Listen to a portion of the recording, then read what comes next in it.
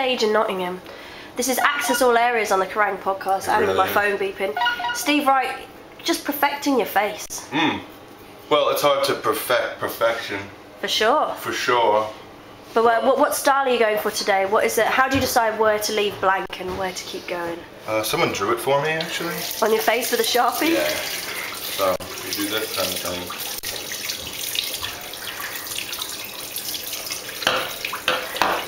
Oh, I see, and then that makes your face. Oh, And then just do it like that, you see? nicely done. And you're beautiful. Beautiful. Good And then job. what you do is you go like this.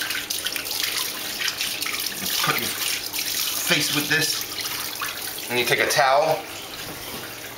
And you do this. Careful not to get the green off your nose. Oh yeah, yeah. I still have some green on my mouth. Oh no, it's gone. I think you're And then you pull these cute things out that are supposed to make you somehow cute, but they don't.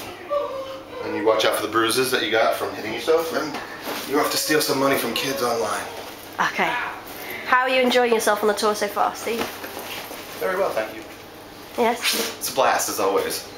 And uh, you did tell me that there should be at least one day that is just Steve Day. Yeah, well, my day is very full, you know. Uh, like usually, after I finish shaving, I'll go out and I'll try to go online and not let anybody see me and try to steal money from kids. And then I do the show. And the best part is probably after the show. So you might want to get that as well. Come find me.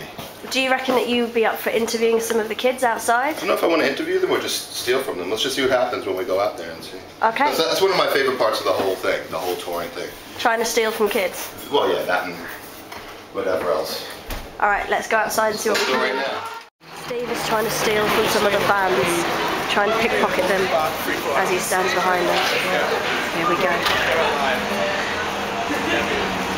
go.